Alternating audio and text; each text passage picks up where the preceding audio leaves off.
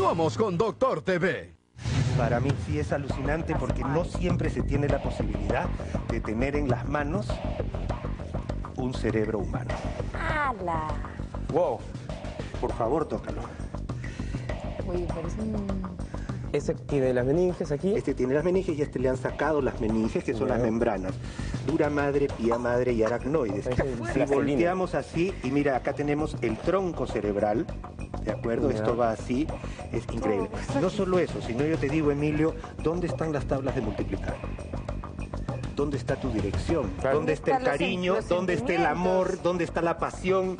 ¿Dónde? está? Está en esto. Y es alucinante, señora, porque es increíble que en esto, esto puede guardar el cariño a tu madre. Pero O sea, ¿cómo, es doctor? increíble, por eso digo que es alucinante. Somos un- ¿De acuerdo? una máquina Señora, increíble. somos una máquina que cada día, cada día se desarrolla más, porque uno puede hasta desarrollar su cerebro, puede comenzar a trabajarlo, a mejorar su memoria. Dice que manejamos el cosas. 10% Eso- nada más, ¿no? verdad. Exacto, usamos una parte muy chiquita, como cuando usted habla por teléfono y no sabe cuánto puede usar de su celular o de su computadora. Así es nuestro cerebro. Es alucinante. ¿Ya? Una No. cosa realmente increíble. Así se quieren para no tocar nada. Y lo bajamos ahí nomás. Perfecto, para afuera. Gracias por la experiencia, Excelente. doctora. Gracias, Nunca había visto un, doctor. un cerebro fuera de, un cráneo. Imagínate, alucinante. Vamos a ver una segunda pregunta. 1-0. Y la tenemos en pantalla. Es una de las enfermedades más comunes que transmiten las cucarachas. 3, 2, 1. A ver, a ver,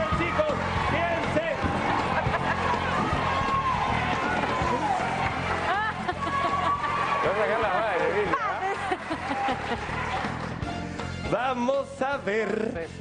Respuesta.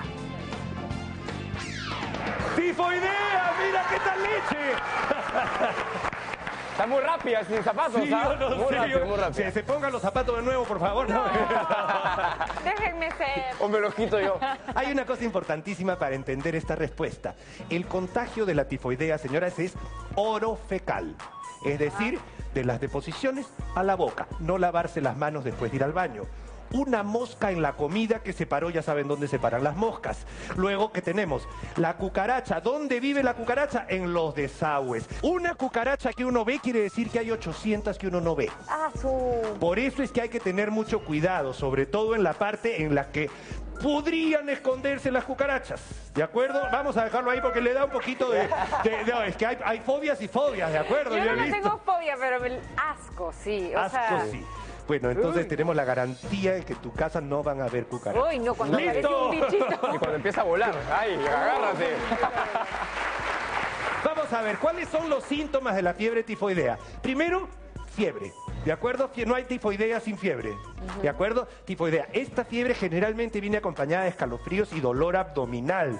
Bien importante, un dolor abdominal seguido generalmente de diarrea, que tiene una característica, viene una diarrea con moquito, vómitos y fiebre. Todo esto produce una tifoidea. Generalmente dos días después de haber sido infectado, uno comienza a tener síntomas que impiden que uno vaya a trabajar. ¿De acuerdo? Muy bien. Tercera pregunta. Y corresponde. Uy, la rata. Vamos a ver. La rata es un portador de una enfermedad. Escuchen, no, chicos, porque esto es, un, es alucinante. ¿ah? La rata es portadora de una enfermedad que mató a más de 30 millones de personas en Europa en la etapa medieval. 30 millones de personas. ¿Cuál es la enfermedad? 3, 2, 1. Y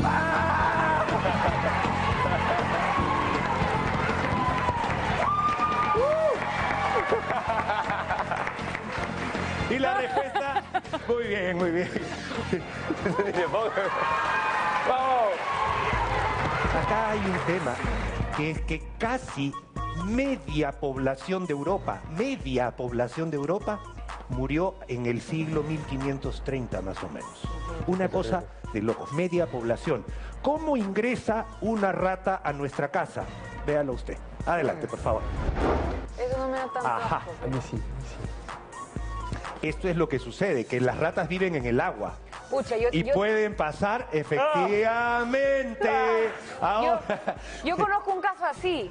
que- ¿Conoces un caso así? Un familiar que se estaba yendo al baño y abrió el water y no pudo sentarse porque apareció una rata. El problema no solo es la rata, la pulga que tiene la rata también tiene el germen. Entonces una pulga puede pasar la peste bubónica, ¿de acuerdo? Esta es la pulguita, justamente.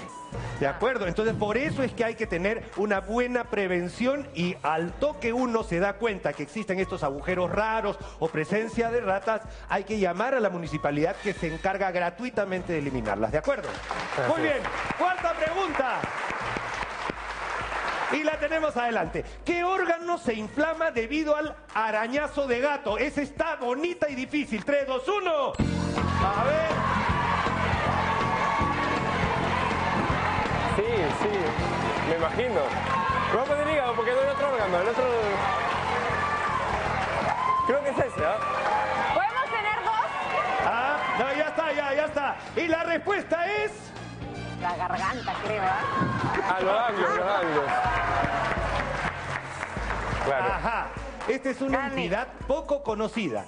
Y nos ha tocado verla cuatro o cinco veces. No es tan rara como parece, señora.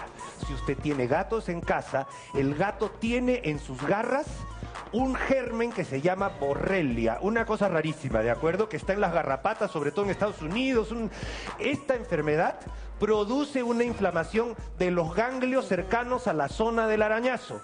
Da una fiebre con escalofríos tremenda. La mamá piensa que es algo grave porque se hincha el ganglio rápidamente y tú sabes ahora con lo de pulseras rojas que el ganglio se asusta muchísimo las personas, pero esto produce un- una reacción inflamatoria del vaso que está acá arriba y de los ganglios cercanos a la zona de la picadura. Pero y el gato, o sea, siempre y cuando el gato tenga eh, algo Es malo. que es el arañazo del gato. El gato puede estar en otro lado, contagiarse con otro gato y regresar a tu casa.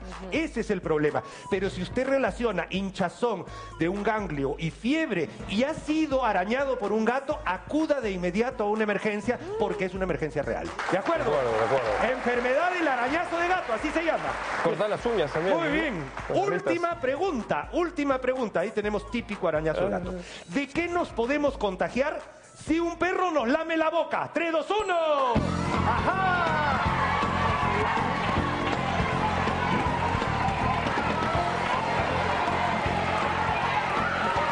¡Ajá! ¡Me muero! Ya fue, ya fue.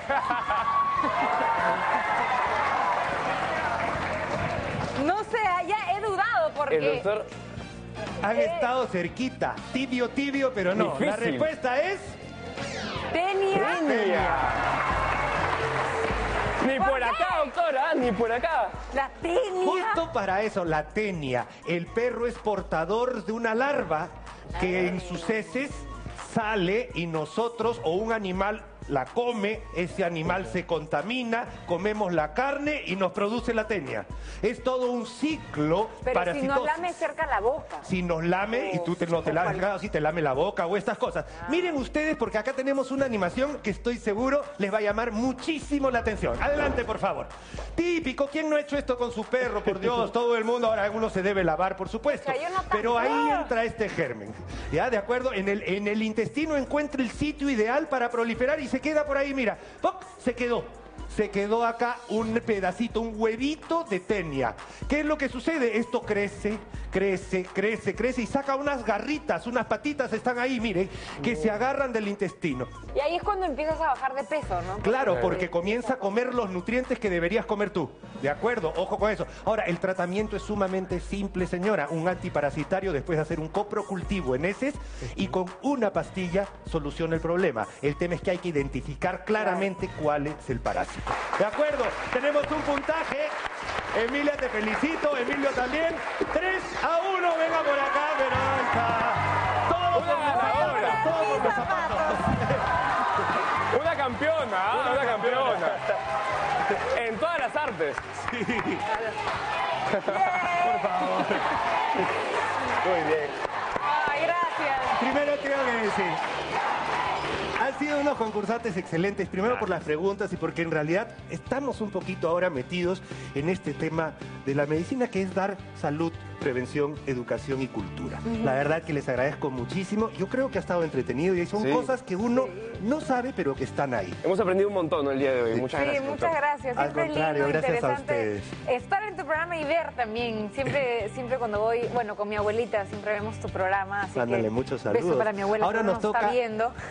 nos toca invitar, invitar a la gente porque yo soy pulsera roja y ellos Ay, también, perdón, también.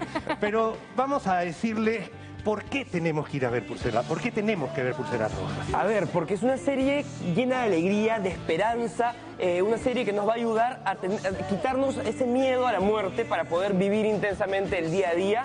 Y, nada, es una historia que cambió muchos países del mundo y ahora ya está cambiando el Perú. Estamos líderes en sintonía gracias a ustedes, pero nosotros no vamos a medir nuestro éxito con cifras de rating. Nosotros vamos a medir nuestro éxito con vidas cambiadas y con enfermedades curadas. Qué bueno, realmente, ese es nuestro fin también. Muchísimas gracias, felicitaciones, felicitaciones a Michelle Alexander por este tremendo trabajo. Muchas gracias a ustedes y a ustedes en casa. Buenazo.